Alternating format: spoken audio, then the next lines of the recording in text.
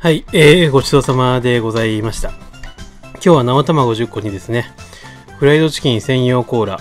ペプシコーラをですね、混ぜて飲んでみました。あ、これカロリーも砂糖も糖質もゼロなんですね。ペプシのゼロの、えーフライドチキン専用コーラでございます。で、これのですね、まあペプシのゼロコーラ、フライドチキン専用コーラじゃない普通のゼロコーラも、あの、飲んだことあるんですけれども、どれぐらい違いが、これと違いがあるかというと、まあ、これの方が若干こう爽やかでしたね。爽やかでこう、まあ、ミントかどうかわかりませんが、ミントのような香りが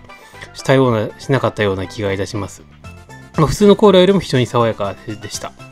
で、味はですね、その一般的な、あの、いつものペプシコーラとゼロコーラと、あんまり変わりはないような気がします。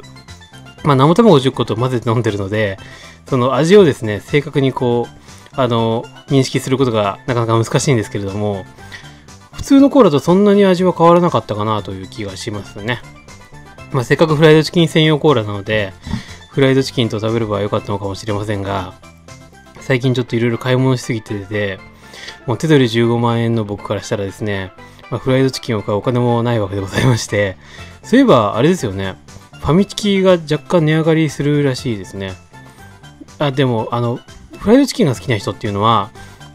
まあ前にも言ったかもしれませんが、まあケンタッキーであれ、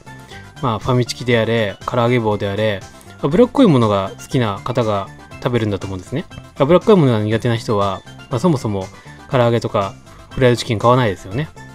で、脂っこいものが好きな人におすすめの唐揚げとしてですね、唐揚げの天才っていうお店があるんですよ。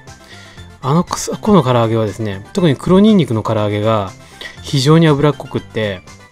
最高に美味しいと思います。まあ、最高に美味しいですから、ぜひ皆さん一度食べてみてください。